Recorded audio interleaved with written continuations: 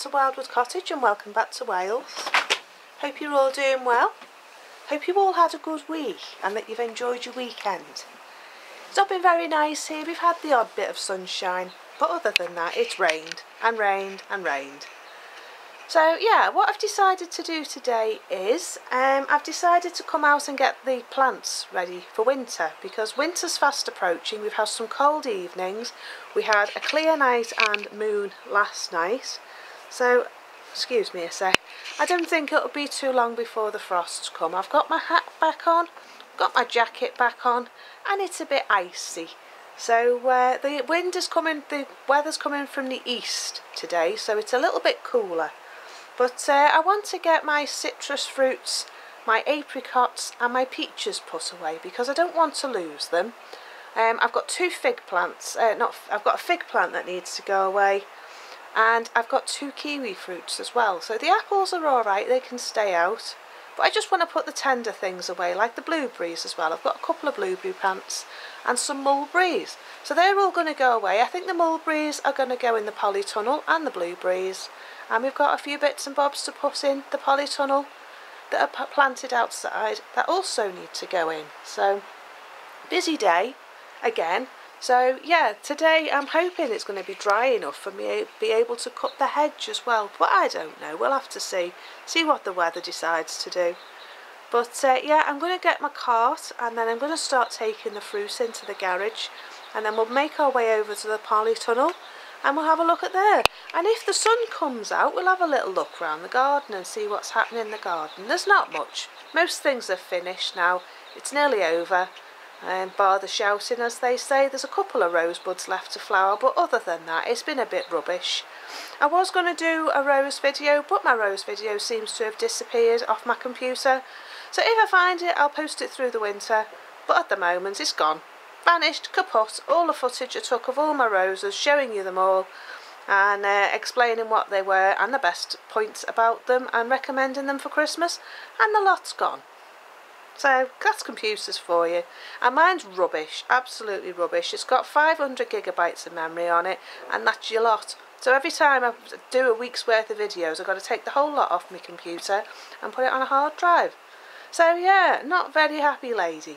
But yeah, I've lost a few recipes as well. I did, um, what did I do? I did a cottage pie video for you. Um, I did a lasagna video for you. I've done some cake recipes for you and the lot's gone. So I'm hoping it's all on my hard drive, but I've got to spend some time now, a few hours, going through the hard drive and seeing if I can find it, because at the moment I'm up to a terabyte of memory being used on my YouTube videos on both channels in two years. So yeah, anyway, I just hope those drives don't break because I'll lose all my photographs and all my videos that I've taken in the last two years. But yeah, that's life, isn't it? It's not important. If I do lose them, never mind. I've got the memories up here and I've got my videos on YouTube. That's just the way I look at it. Anyway, I'm going to get go, get on with my video. Um, I'm going to show you a little bit of the garden if the sun comes out, as I say. But we're just going to get the fruit, get it sorted. I'll show you what I've got and I'll show you where I'm putting it in the garage. So this is my wood wall. It's working out really well. It's drying out nicely. It's not getting a lot of rain. It's just getting rain on the front bit. But uh, if it does get it, but the rest of it's drying out nice, so that's good. Hopefully for next year we'll have some new wood. But uh, down here, excuse the juice, so that's to go back in the garage. I was hoping to get that working. Anyway, this is my fruit corner and I've got a fig tree there which I want to put in the garage until it gets bigger. It's been a good plant this, it's done really well. I'm sure I could leave it out but I don't want to take the chance because when it comes straight down that field, the frost, it's just been really cold and I just want to make sure that it's pausable. So this will probably end up in a big pot on wheels that can be moved. Um, I've got I've got two citrus fruits here. One's a lemon, one's a lime. Um, also got another one here, which is an orange. Um, this one here is a peach, Red Haven peach. So that's been doing really well. It's died off at the top for some reason. All the growth is coming out above the graft at the bottom. So I'm hoping that's going to be okay. Um, what else have we got? I've moved it all around so I can't find it. Over here, I've got a blueberry here and another blueberry here. So they need to go into the polytunnel. There's loads of strawberries around as well, so I need to sort them out. This one lives outside. This was my this was my original peach. Um, that I bought about 10 or 15 years ago and I brought it from my allotment. Now it, was growing at the top when we first moved in and I had flowers and then it just died. But it's come back at the bottom and I believe it's a peach, uh, Julian peach, Julian Grieve or Grave peach from what I know. So I've decided to keep it and it's bushing up nicely from the bottom. So even if I only get a shrub, I don't mind. Just as long as it looks pretty. And these red branches look beautiful in the sun and in the summer when it's got some lovely leaves. But all the leaves fall off in the winter so that's why they're looking like that. But it's doing really well. I mean even if I get sloes off it I'm not bothered. Or quince because they're quite nice as well. So that's them then over here this hasn't done very well. It was planted last year but it was in a bucket of water for ages. It's a plum. So I'm going to keep it. Still got bendy branches on it so I'm hoping it'll do something. Um, I'm going to move my sage because I don't want to lose it. It's my original sage from 20 odd years ago maybe even 30 years ago. And uh, it's doing really well here. It seems to like it I've had to tie it up because the wind keeps catching it but that's going to stay where it is this is another apple this is a apple that was my Braeburn, that one in the red tub. This is a Gala. Then this is another apricot, uh, Peach Red Haven. Now, this is fantastic. I'm so pleased with how well this has done. And I had peaches this year on the one in the porch. So this one is definitely going in the garage because it's got some lovely growth on it. And uh, it needs to be protected from the bad weather. So that's going to go in the porch. So yeah, round here as well, round the side, this is my porch area. I'm going to be building another wood storage there. Um, but here, this is another Red Haven peach, and they were replacements for ones that died um, off YouGarden. So I got two originally, they both died, they sent me some replacements, one of them died, they sent me more replacements, and these are the ones that are left. So this one here was brilliant in the summer, it gave me fruit. I had peaches off it. But the branch that gave me the fruit has died off a bit. So I'm just hoping it's going to be okay. There's the remainder of one of the peaches. But they were absolutely beautiful. They were gorgeous. So this is going to be um, going into the garage as well. Got a nice healthy shoot here. I don't want to lose it. So yeah, that's going to be going away as well. Um, this one here, it is an apricot. This is going in. This They're, they're all dwarf, by the way, if you're interested in growing them. Um, and this one is Early Moor Park. Now, I'm not sure I like YouGarden plants anymore, but uh, haven't made my mind up. But this one's definitely going to go in the uh, polytunnel, out of the way. So the peaches are going to go in the garage. That's going to go in the greenhouse, in the polytunnel. And so are the uh, blueberries. But then I've also got all my geraniums as well. I need to decide where I'm going to put them. I'll have them in the house normally, but they're put on such a lot of growth. Done so well. I don't want to lose them. And I want to take cuttings as well. So not sure whether to have them on the polytunnel. I'm not sure how warm it's going to get in there. So I might just pop them in the house again. But there's quite a few around the place. Uh, Antirrhinum's looking pretty. Nice and uh, lemony. Pond's done really well, by the way, this year. It's been fantastic. I still haven't got any frogs, I'm hopeful. Need to clean it out. But uh, it's looking good.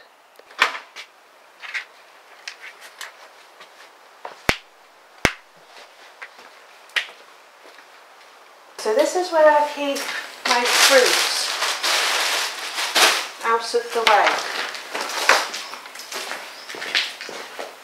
We have some bits of wood that I can't cut.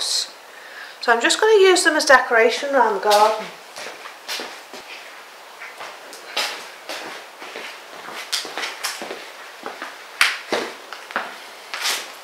This is a good spot for my citrus fruits because it's out of the frost, it's out of the draft of the doors and it's nicely protected and sheltered so that's why they live here in the winter because they don't get the frost.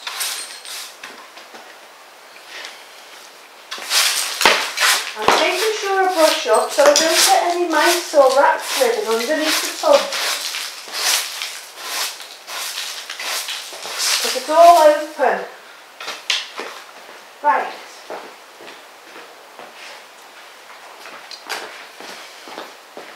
Those two can live there and we'll go and get the others.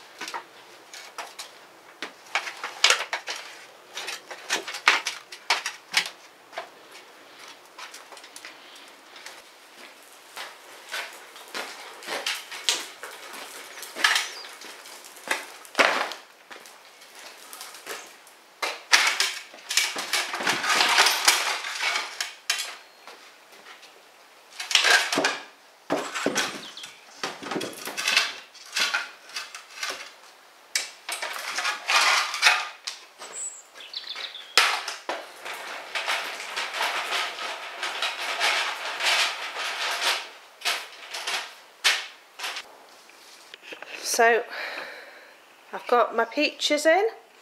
Got three of them in. I've got one more to get. Um, I've got the fig. I've got the citrus. There's the fig. There's the two citrus. Uh, then there's a peach there. Then there's a peach there. And a peach there. Now this pot here is the old vent off our septic tank. It was just dumped in the field and you know it makes a great pot. This peach seems to like it. So that's them all tucked up for the winter so I'm just going to move the rest. Yeah, so what I thought we'd do now is I thought we'd have a little look around and see where we can put that nice piece of oak.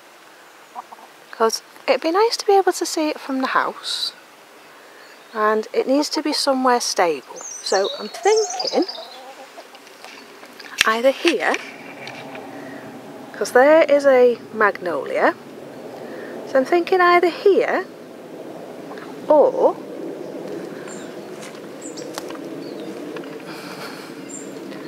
along here somewhere. It's all starting to die back now. There's lots of lovely berries on the holly tree. Sorry about the noise, that's the aeroplanes flying up high practicing. Uh, got a nice penstemon just there, that's very pretty. The asters are still out. Summer hasn't quite gone yet from the garden because summer gone is still in flower up here. Pretty much everything's finished now. The maple, field maple is nearly done. Well, the apple tree has dropped all its leaves. That one's nearly finished. Where I was thinking of putting this piece of oak is down here.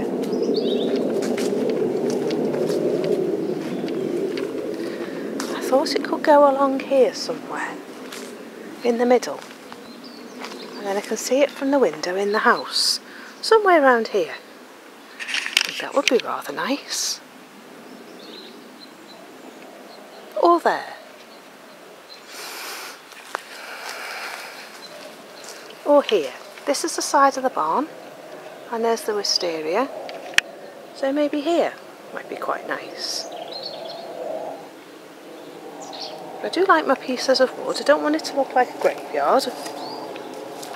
And pretty much everything's finished now. Got a bit of a Bina borealis or whatever it's called left. Um, my rhododendrons have done really well. There's a flower appearing on this one. Let's have a look at that, shall we? Look at that pretty flower. I think this one's called Cosmopolitan. It's a bit late, or a bit early, one or the other. But that's going to be pretty. Got another one here. And this one is Gomer Waterer. It's a white one. It'll grow 1.5 metres. Sorry about my shadow. As you can see it's all pretty much finished now. So that means winter's on its way. The uh, rose walk didn't do much this year. Bit disappointing really after all the work. But maybe next year. There's always next year, isn't there, in the garden calendar? so I've got all these plants to go out. It's been that wet. I've not been able to put any of these out. So they're in waiting.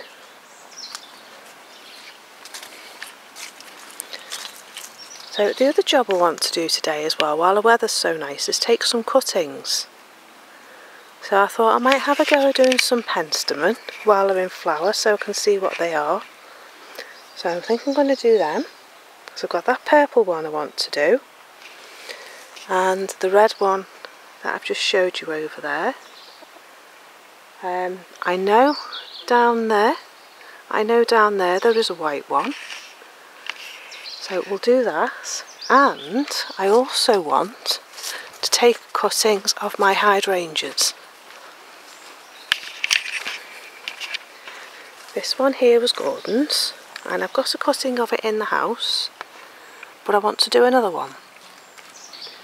And while I've got nice flowers on the top I can have the flowers on display in the house and keep the cuttings in the house.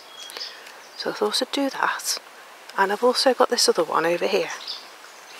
Let's go and have a look. This is a part of the garden I don't show you very often. Well at all really. But I've got this one, and look at the size of that flower on there. But there's only one stem, so I can't do cutting off that one. But there's also this one. So I thought I'd take a couple of cuttings off that. Some nice new growth on it here. Um, but this was supposed to be a spirea and hydrangea hedge. But the hydrangea didn't do very well. Well, not as well as the uh, spirea anyway. Um, so yeah, I need to get on with that. Want to do? Got another pen. Got another penstemon down there. I could take cuttings off. So I think I'll do that. That tree there needs tackling at some point because there's an electric cable that goes through there. So I need to sort that out at some point.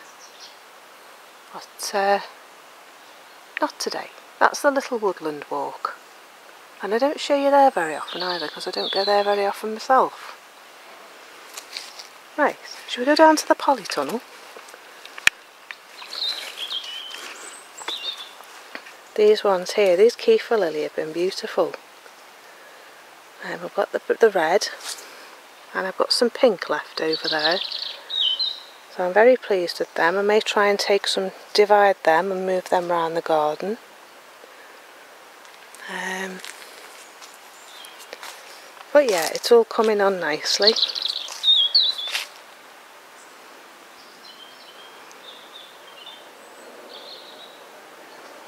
and Pilgrim still hasn't flowered. Holding on to her buds. I've got three or four lovely little flower buds on there and still no flowers. So that's a shame.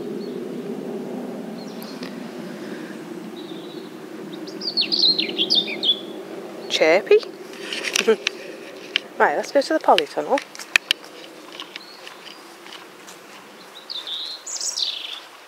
It's a bit of a mess.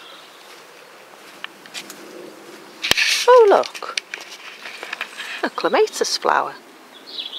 That's pretty. Didn't notice that before. So yeah, what I want to do as well is I want to harvest some of this mint. Here, this is Gordon's. Nearly finished, but I want to harvest it for the winter, so I'm going to take off some cuttings off there. I've got some lemon verbena as well that I want to do cuttings from. And this, this is um, two Cape Gooseberry. You know the ones you get in the little husks? Let me see if I can find one. Oh, here. See these husks here? See these husks here? Well, in there, you open this one, you get this little berry. And they're like little jewels. Another one there. Well, it needs to be taken out the frost. And I'm just hoping I don't lose it because there's lots of husks on it. Another one there. And there's loads in there. And this is two bushes, but it needs to go in the polytunnel. And so does this. This is my lemon verbena. Now, I've tried growing these many times in the past and they've died in the frost. So I'm hoping I'll have better luck in the polytunnel because it died in the house last year and I bought a new one. So I'm going to take some cuttings because it's quite a decent size. And uh, I'm going to pop it in the polytunnel. So that needs doing today while the weather's nice. But this mess is the polytunnel. I've not been in here for ages because I got blight. So I didn't bother. Got a few tomatoes to pick. But it does need tidying up. I've got an apricot there. And I've got another one to come in here. So I'm going to tidy this first. And then I'm going to dig my plants out. Get them in pots in here and then try and sort this mess out and get it ready for bringing things in here for the winter. It's lovely and warm in here. And as you can see I got blight on my tomatoes so they've not done very well. I've still got cucumbers to pick at the back there. Still got quite a few. So I'm going to pick my tomatoes, pick my cucumbers and then decide whether it's worth cutting these down. Because I don't think they're going to do anything really. We're not going to get enough sun now. It seems a shame because there are flowers on it still. I think maybe I just left them to get too high. You see there's tomatoes here. There's tomatoes coming here. So it just really needs a good tidy up. I've got tomatoes here, which have done well. So yeah, I don't want to cut the tomato flowers off particularly, but I don't know if it's worth leaving them. But they can be tidied up. And then I've got some cucumbers that I want to bring in here for the winter to see if I can get any cucumbers through the winter. So here's my piece of wood I think it's going to go at the back there.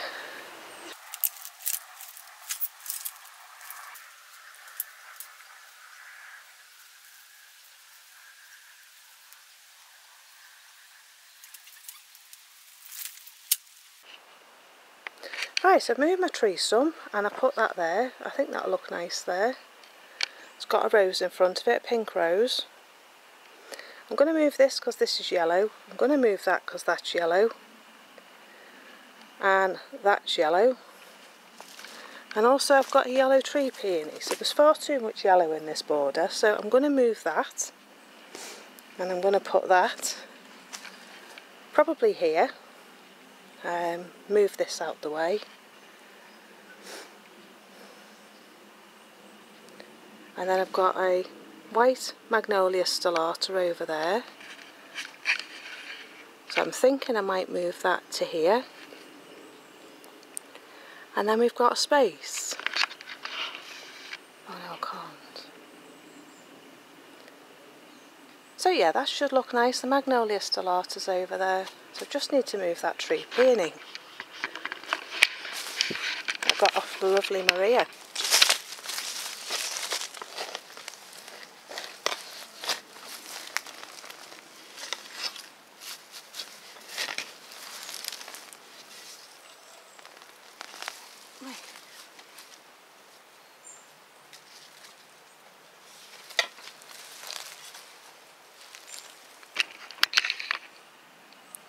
Some nice growth on it. Settling in nicely.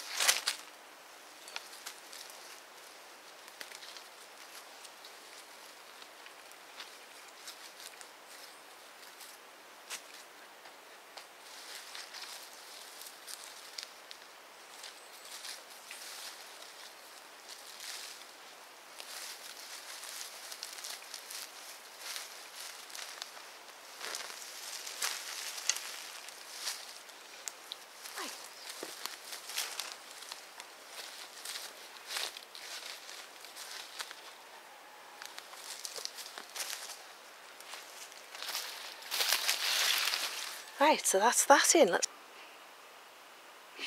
I've just finished in the dye shed for the evening and I don't know whether you can see but there's a beautiful half moon. It's a really big half moon as well, it's lovely. It's going to be a cold night tonight I think. But uh, it's good to be back in the dye shed. I'm going to go in and do some knitting or some weaving.